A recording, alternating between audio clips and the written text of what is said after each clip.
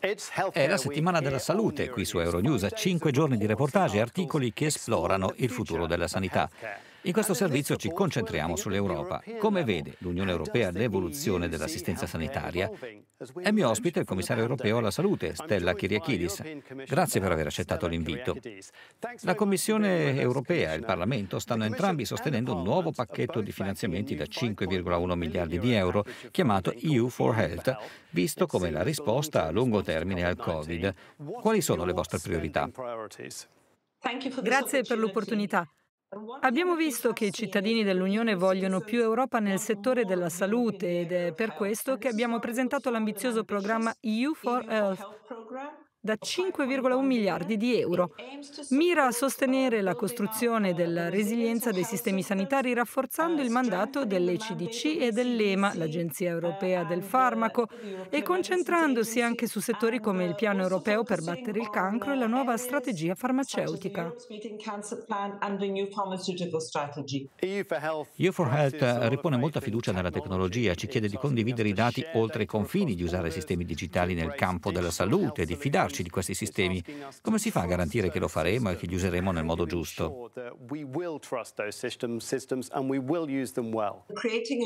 Creare uno spazio europeo dei dati sanitari è sempre stata una priorità per questa Commissione. Si tratta di utilizzare i dati sanitari in modo sicuro, di proteggere i dati sanitari per essere in grado di aumentare l'accesso ai servizi sanitari, alla cura dei pazienti e ottimizzare l'uso dei dati nel settore della salute.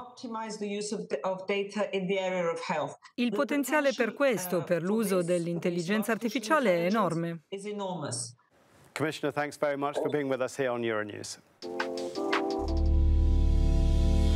Ho parlato con tre eurodeputati che sono stati relatori o relatori ombra del programma EU for Health per avere la loro visione della strategia sanitaria europea. Iniziamo dall'eurodeputata portoghese Sara Cerdas, secondo la quale la salute fa ormai parte di ogni decisione politica.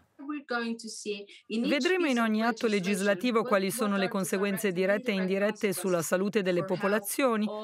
e questo è della massima importanza perché con questo approccio ridurremo le disuguaglianze in tutta l'Unione Europea in campo sanitario. La creazione di uno spazio digitale sicuro per condividere i dati sanitari è parte fondamentale del progetto europeo. La deputata francese Véronique Trier-Lenoir ci spiega perché.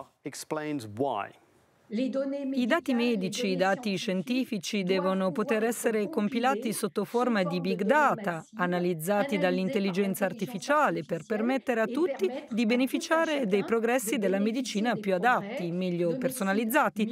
Funziona così anche nel trattamento dei tumori. Uno degli obiettivi è quello di utilizzare la tecnologia per ridurre le disuguaglianze, secondo il deputato rumeno Cristian Silvio Busoi. Qualcuno che si trova in una zona rurale e ha una malattia molto dura o speciale potrebbe essere consultato da un professore di un grande ospedale universitario con una teleconsultazione.